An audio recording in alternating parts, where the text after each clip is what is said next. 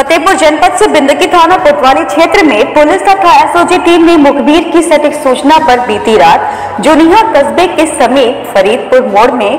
छापेमारी कर पकड़ा लाखों का स्मैक सूत्रों की माने तो फतेहपुर ज़िले में भाँग की दुकानों पर गांजा बिक्री के कार्य से कोई अछूता नहीं है, जिस पर क्षेत्रीय विभाग के समर्थन से भाँग ठेका से गांजा बिकना नहीं बंद हो रहा। और बुज़ुर्ग से अधिक युवा पीढ़ी नशे की आदि बन रही है। इसी क्रम में पुलिस और एसओजी की संयुक्त टीम ने भ्रमण के दौरान एक युवक पुलिस को देख भागने का प्रयास करने लगा तो पुलिस टीम ने उसे दौड़ते हुए पकड़ लिया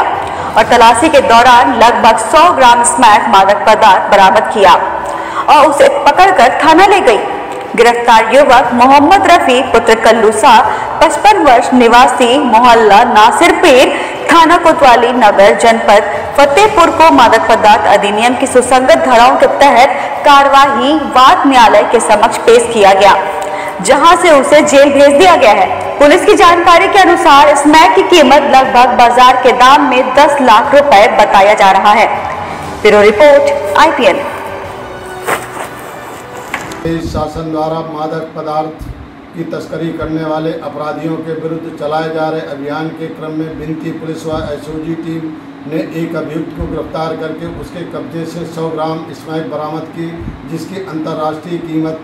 अ, 10 लाख रुपए है। अभियुक्त को गिरफ़्तार करके जेल भेजा गया है।